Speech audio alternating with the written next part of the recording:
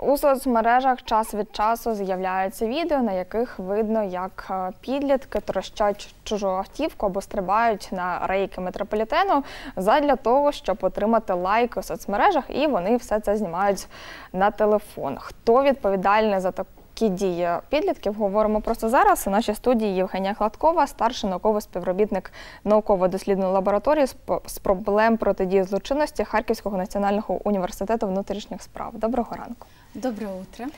А, Перше питання а, у соцмережах, як я вже сказала, що часто з'являються такі відео, де ми бачимо подібні а, дії так, підлітків, де вони стрибають на рейки, стрибають на потяги, так, а, трощать чужу автівку, розбивають фари. Як можна кваліфікувати такі дії та хто відповідальний? А, Ну, хотелось бы в первую очередь сказать о том, что какая бывает ответственность для несовершеннолетних, да? Это административная и уголовная, в зависимости от того, какие действия были ими совершены. Начинается ответственность э, с 16 лет, но за определенные преступления а, с 14. Если говорить о том, что вы сказали о выложенных видео, да, кто будет именно нести ответственность за то, что они выложили видео, ну, это такой способ выделиться, показать себя. И раньше эти действия совершались, просто сейчас более это все можно э, ярко и красочно увидеть э, в со- социальных сетях, либо же просто по телевизору. А если говорить об определенных действиях, о том, как они бьют фары, либо как они прыгают э, на рельсы, либо какое-то другое имущество, возможно, бьет. Нужно говорить о том, что, во-первых, какой умысел этих действий, для того, чтобы правильно квалифицировать эти действия. Говорить о том, какой был нанесен ущерб, это может быть как мелкое хулиганство, за которое будет административная ответственность, так и уже а, именно хулиганство, за которое будет ответственность нести несовершенно с 14 лет, именно уголовная. Поэтому вот так вот просто сказать, не увидев непосредственно конкретный пример мы не можем, но уже родители и несовершеннолетние должны понимать, что они э, могут не просто делаться их родители штрафом, а и получить реальный срок. Мгм. Все ж таки, от якщо уявити дек- декілька ситуацій, давайте прокоментуємо їх. А, наприклад, один з підлітків за- загорожує камеру у магазині, так, інший там щось або пошкоджує, або краде. Що в цьому випадку може загрожувати дитині? Яка відповідальність? А, так. Ну, во-первых, это уже ну, группа лиц, да. Ну, Сразу ясно, что это было обдуманное действие. Они а даже если они просто пришли и тут же на месте это придумали, это будет совершено уже группой лиц. И это кража, настоящая кража, либо порча имущества, за которое они получат, получат именно срок. И это можно квалифицировать как кража, либо же хулиганство, ну, в зависимости от того, была ли кража на месте, либо нет. Мгм. Поэтому начинается ответственность, хотелось бы подчеркнуть, именно с 14 лет, а Мгм. не так, как многие думают, что а, мне еще 14, поэтому можно еще что-нибудь сделать, а родители там заплатят за меня штраф, потому что у них есть возможность. Мгм. Нет. Мгм. А, така досить е, е, повсякденна ситуація. Е, Написав підліток якесь там нецензурне е, слово, наприклад, там на стіні школи. Е, Чи є це чимось таким незаконним? Э, Ну, говорить о том, что это просто плохо, это и так ясно, хотя нужно об этом говорить, и, наверное, не только в школе, но и дома, а в- наших реалиях нужно повторять это каждый день для того, чтобы это не происходило. Хотя, опять-таки, да, это мы видим это не только в школе, на заборах, еще где-то. А, а Что за это может быть? Но за это, конечно, будут отвечать э, родители, в зависимости от того, что там написано. Мгм. Может быть, там будут написаны конкретные слова э, и про, про конкретного человека, а не просто здесь был Вася. То есть э, Мгм. тоже нужно учитывать то, что будет, будет написано. Поэтому а, ш- ну, штраф. Мгм. І як е, також можете прокоментувати, ось якщо підлітки задля лайків знімають таке відео, де вони стрибають під потяг на рейки метрополітену? Мгм. А, Ну, ситуация э, не совсем да, конкретная. Ведь мы дальше не говорим о том, что произошло дальше. Мгм. Во-первых, а, когда он прыгнул, помимо того, что снимается видео, нужно говорить о том, что в данном случае может быть и порча имущества, Мгм. имущества, а также это же угроза жизни и здоровья, а также нужно говорить о том человека, который едет за рулем и может не справиться с управлением. Мгм. Поэтому о том, какая дальнейшая история вот этого вот э, э, маленького содержания этой истории мы прокомментировать не можем э, полноценно и грамотно, потому что не знаем результата Мгм. для того, чтобы правильно квалифицировать эти действия. А, Просто говорить, что они прыгают, ну да, это такое мелкое хулиганство, которое эм, да, хотят выделиться, хотят показать, что смелые, умелые, но нужно говорить о том, что о последствиях, Мгм последствиях этого, этой истории. Мгм.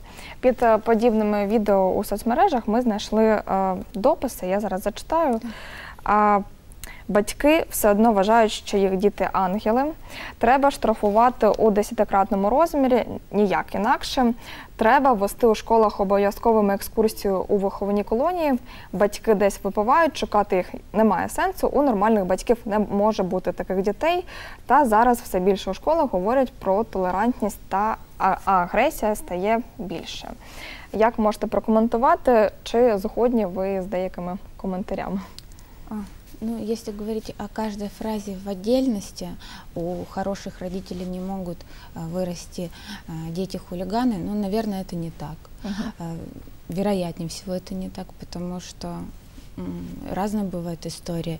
Непонятно, для чего дети это делают. Возможно, для того, чтобы именно эти хорошие родители уделяли им больше внимания.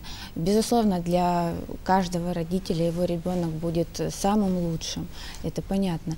Но Критическое мышление никто не отменял, никто не отменял э, меры воспитания, никто э, не отменял того, что нужно говорить, что такое хорошо, что такое пло- плохо. Что касается э, обязательной экскурсии, да, обязательно Мгм, именно экскурсия в школе для того, чтобы водили в колонию. Но это же не панацея для того, чтобы этого не, не было. На какого-то ребенка это произведет эффект. Даже на взрослого человека, на кого-то это произведет эффект, и это будет такая мера сдерживающая, да, а для кого-то нет, потому что это такое, такая тонкая психология детского ума, с которой нужно не просто один раз по- поработать, привести его в колонию и сказать, если ты сделаешь что-то, и то-то будет вот так. Мгм.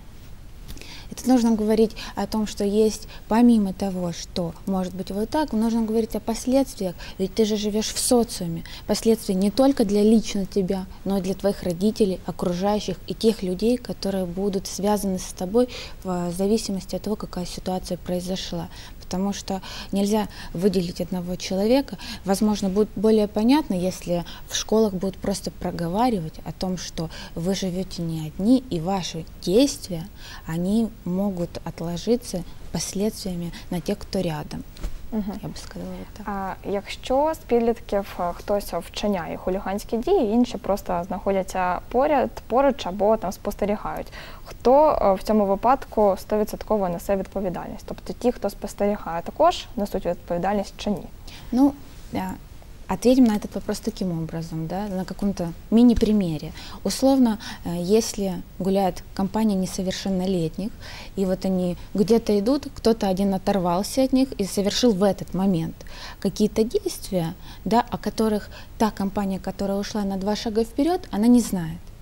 А, Безусловно, они отвечать не будут. Да, их опросят, а, их могут привлечь как свидетелей, с ними это обсудят, проговорят, а, но нести за ответственность непосредственно за те действия, побитые фары или украденное какое-то имущество они не будут. Если это было а, даже если они это обсудили, либо кто-то предложил и поддержали, поддержали не только киванием головы, да, но еще и действиями, безусловно, они будут отвечать все вместе, Мгм. потому что это уже будет совершена группа лиц, что более отягощает в данном Мгм. случае а, действия. Мгм. А чи можемо ми охарактеризувати психологічні портрети такої групи та як зазвичай розподіляються ролі? Тобто, чи є там лідери, наприклад, в таких групах? Там якось так. Ну, лидеры есть в любом обществе, в любой компании, в любом коллективе. Да, есть формальные, есть неформальные, ярко выраженные. Нет, в любом коллективе всегда а, есть авторитетное мнение. Да?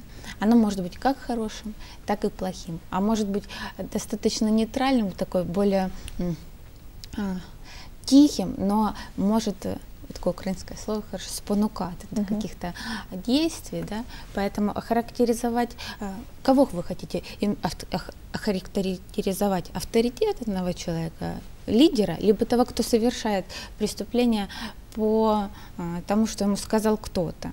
Понимаете, здесь такой момент, это же несовершеннолетние, Мгм. те, которые еще прислушиваются, присматриваются, они это делают для того, чтобы выделиться, быть ярче, быть смелее, доказать себе, окружающим, что они могут.